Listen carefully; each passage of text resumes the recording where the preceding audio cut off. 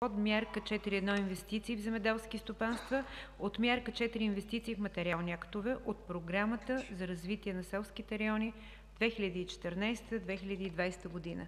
Заповядайте, господин Стоилов, да зададете Вашия въпрос. Уважаема госпожо Председател, уважаеми господин Министър, колеги! Измина една година от приема на проекти, класирането им по критерии за оценка и регламентите в Наредба № 9 от март 2015 за прилагане на подмярка 4.1 „Инвестиции в земеделски стопанства“ от мярка 4 „Инвестиции в материални активи“ от Програмата за развитие на селските райони в периода 2014 – 2020 г., в който прием се оформиха доста казуси и критични моменти в доста направления. Обявеният срок за прием на проекти съгласно заповед на министъра на земеделието и храните е от 26 октомври 2016 г. до 7 декември 2016 г.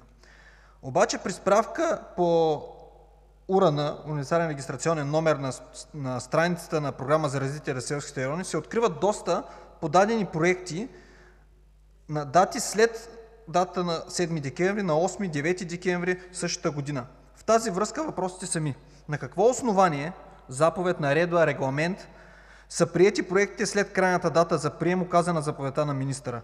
Какъв е броят на подадените проекти след крайния срок, указан в заповедта? Участват ли в оценката проекти, приети след този краен срок? И спазени ли са принципите за равнопоставеност, прозрачност и законосъобразност при прилагането на Програмата за развитие на селските райони? Благодаря. Благодаря Ви, господин Стоилов. Заповядайте за отговор, уважаеми министър Порожанов.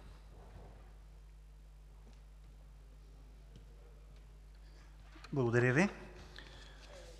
Уважаема госпожо Председател, уважаеми дами и господа народни представители! Уважаеми господин Стоилов, приемът на заявление за подпомагане през 2016 г. по подмярка 4.1 „Инвестиции в земеделски стопанства“ е проведен съгласно заповед на министъра на земеделието от 4 октомври 2016 г. В тази заповед за начало на приема е определена датата 26 октомври 2016 г., 7 декември 2016 г. – определена за крайна дата. Съгласно установените правила за работа процесът по подаване на заявления за подпомагане и заявки за плащане са вменени на Държавен фонд „Земеделие“ в съответствие с Договора за делегиране на функциите по прилагане на мерките по Програмата за развитие на селските райони 2014 – 2020. Подадените проекти по тази подмярка са 3165 през този период, като над 60% от тях са подадени в последните дни на приема, което прави, като казвам последните дни, това са последните два основно и три, но последните два дни, което прави 2000 заявления са подадени в последните три дни.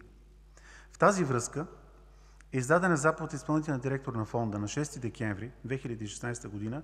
за дообработка на всички подадени и приети заявления за подпомагане в последния ден на приема от служители на регионалните структури на Държавен фонд „Земеделие“ с тази цел да се създаде организация за безпрепятственото им приемане в цялата страна. Това са 461 проекта, на които са съставени и регистрирани в деловодната система на Фонда констативни протоколи в последния ден на приема и за които е стартирало разглеждането и генерирането на участие по подмярката в ИСАК в същия ден, а именно 7 декември 2016 г., но обработката им е приключила на 8 и 9 декември. По-простичко, Вие знаете, всички идват в последния момент, струпват се и физически нашите регионални дирекции, Вие имате поглед върху тези процеси, не могат физически да приемат абсолютно всички документи.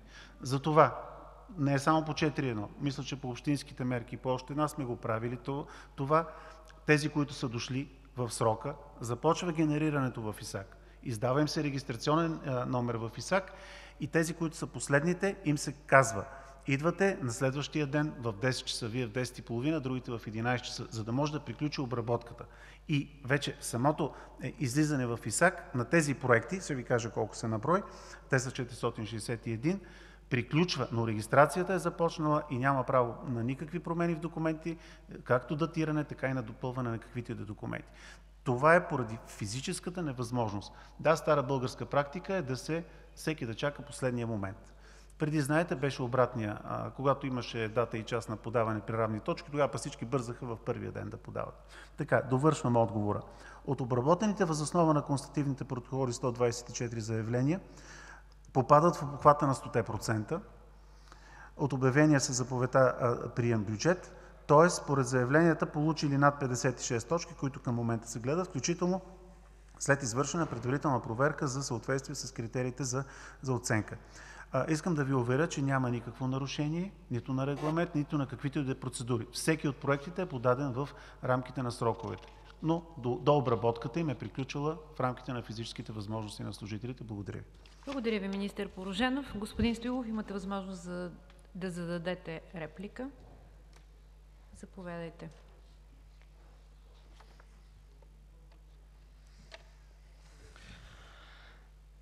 Благодаря за отговора, господин Министър, но все още не ми стана ясно как така заповед на изпълнителния директор на Фонд „Земеделие“ е по-силна от заповед на министъра на земеделието.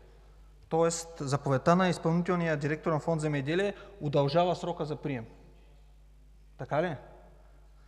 И мога да Ви загатна само няколко от казусите, които по време и на приемни, и по време и на след приема при оценка на критериите са доста така притеснителни. Примерно в критериите за оценка 8.3 проектите с инвестиционни намерения за строителство или обновяване на сгради, помещения на други недвижима собственост, пряко свързани с производството, съхранението и подготовка на продукция за продажба, включително съоръжения, оборудване машини, различни от земеделската техника, които са монтирани в тях.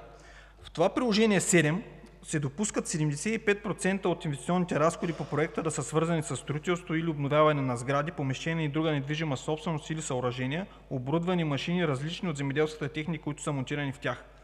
Обаче в електронната страница на Министерството на земеделието и храните има отговор на постъпили запитвания и въпроси по подмярка 4.1.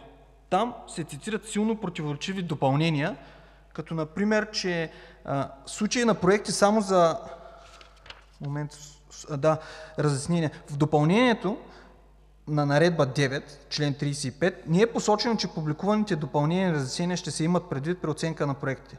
Тоест се дава предпоставка за възможност за изискване разяснения от Министерството, но в текста на основните документи по прилагането на 4.1 не се имат предвид тези документи.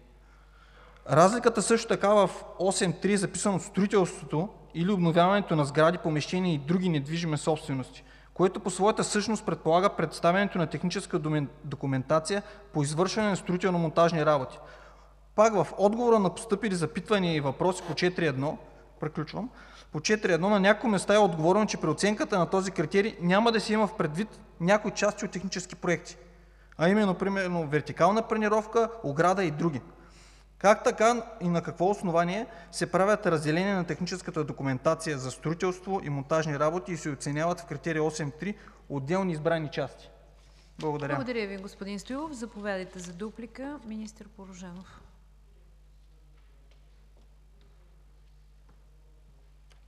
Ще ме извините, че не разбрах втората част от репликата Ви.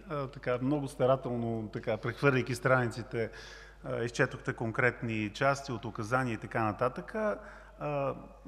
Поемам ангажимент, ако ни подадете писмен въпрос по тези, да Ви направим коментар. Сега, в никакъв случай не смятаме, че е нарушена заповедта на министъра. Както Ви казах, всеки е дошъл в срока. Ние не можем да върнем който и да е бенефициент за това, че физически не може да се обработи неговата, програма. Знаете, една брой са документите, всеки един се вкарва ръчно в ИСАК, след като бъде прият, имате така поглед върху тези неща, не е нужно да го казвам. Така че самото генериране на, номера на, стартирането на регистрацията в съответния ден не е нарушавано, а че физически е довършено това е поради физическата невъзможност да се направи това нещо. Не случайно вече се върви и към ИСАК, където вече всеки по електронен път сам си генерира и когато изтече камбаната на 17 часа, който входирал, входирал. Но това означаваше ние да върнем 461 бенефициента, които са дошли всичките примерно в 4,5 в последния ден. Знаете, че няма как. Уверявам Ви, да не, да, сте, да не сте притеснени, няма някакво нарушение. Нито на регламент, нито на, на каквото и да е, включително и от одитна гледна точка, смятам, че всичко е наред. Благодаря Ви.